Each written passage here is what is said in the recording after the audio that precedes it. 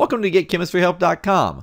My name is Dr. Kent, and in this video, we're going to work some practice problems on how to determine the formulas of chemical compounds.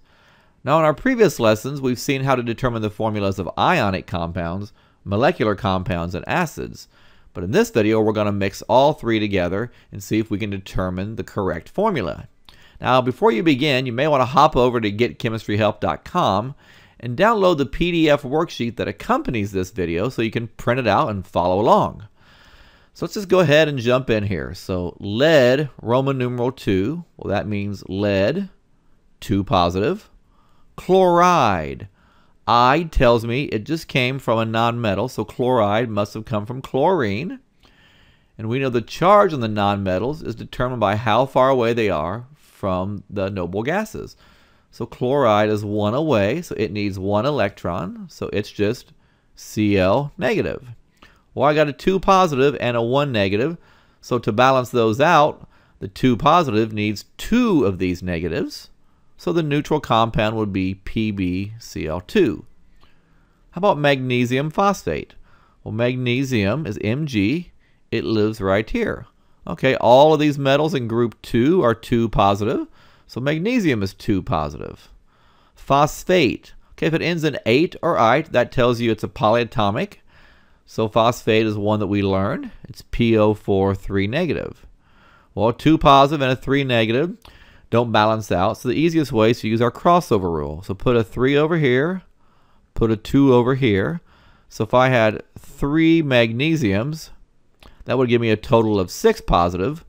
And if I had 2 phosphates, that would give me a total of 6 negatives. So 6 positives and 6 negatives would balance out. How about nitrogen triiodide? Uh, well, tri tells me it must be a molecular compound. So nitrogen, just N. Triiodide would be 3 iodines. So NO3. How about hydrofluoric acid? Okay, this is an acid.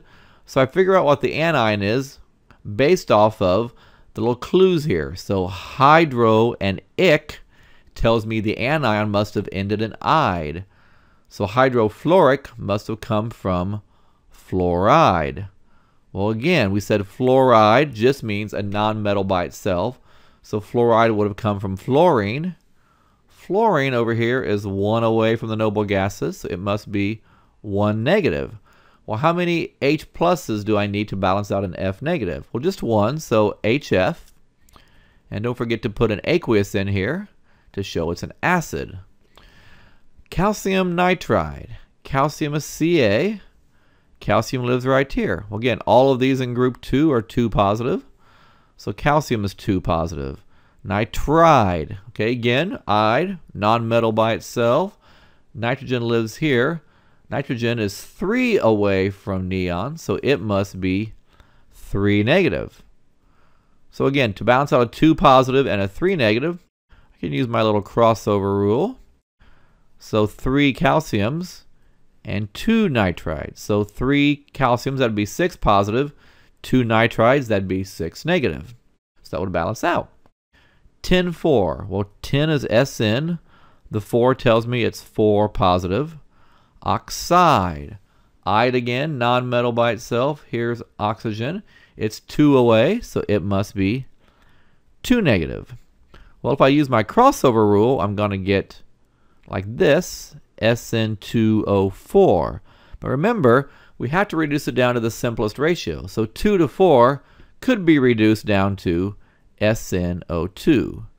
Because really to balance out a 4 positive, we only need 2 of the 2 negatives. So SNO2 would be the better way. Okay, a few more. Dichlorine heptaoxide. So di means two, so two chlorines. Hepta is seven, so seven oxides. O7, Cl2O7.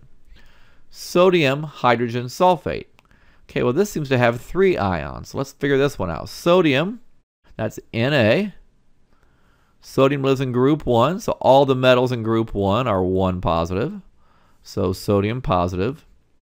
How about hydrogen sulfate? Well, hydrogen is H plus. Sulfate is SO4 2 minus. So if I combine those to make one happy little polyatomic, I would get HSO4. And what would the charge be? Well, positive and 2 negative would leave me just a negative.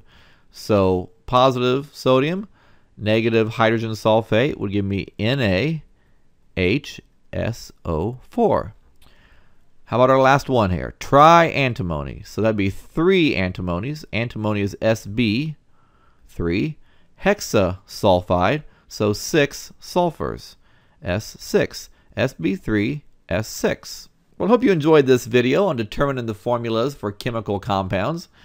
Of course, as always, you can visit us at getchemistryhelp.com where we have many more videos on naming all kinds of chemical compounds. And we will see you next time. Thank you.